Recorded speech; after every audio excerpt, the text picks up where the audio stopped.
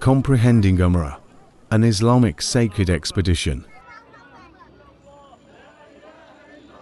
Umrah is a deeply significant act of worship in Islam, comprising a series of rituals aimed at seeking the pleasure of Allah. Here's a comprehensive overview of Umrah and its various aspects.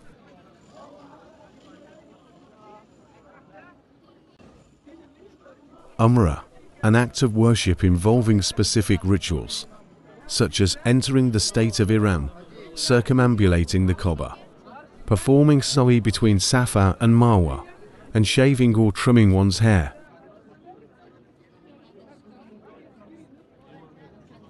Muslims enter the state of Ihram, designated locations, reciting the Talbiyah and abstaining from prohibited actions.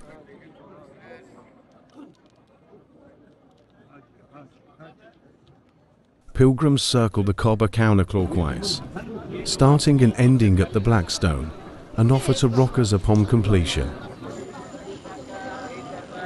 The journey between Safa and Marwa, symbolizing Hajar's search for water for her son Ismail.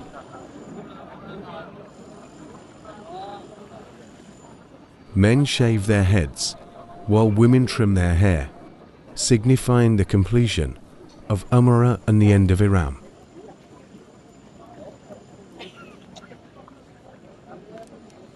Umrah holds special virtues, especially during Ramadan, with rewards equivalent to Hajj. Pilgrims must perform Umrah at their allotted times, as per official reservations, ensuring orderly conduct.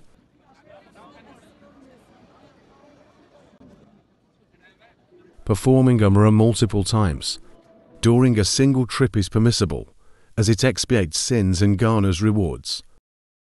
Pilgrims must adhere to guidelines and avoid inconveniencing others during the process.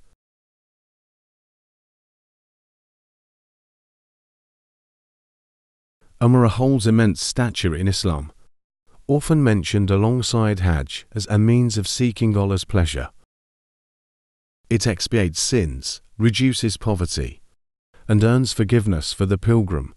Each step in the rituals of Umrah is rewarded, signifying Allah's gratitude and blessings upon His servants.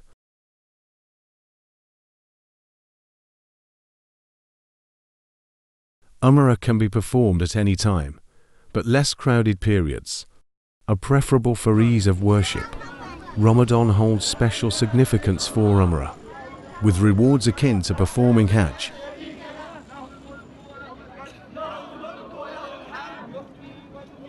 Pilgrims must observe proper timmings and reservations, avoiding Umrah during the Hajj season unless combining it with Hajj. In essence, Umrah is a profound journey of devotion and spiritual renewal, offering believers an opportunity to draw closer to Allah and seek His mercy and blessings.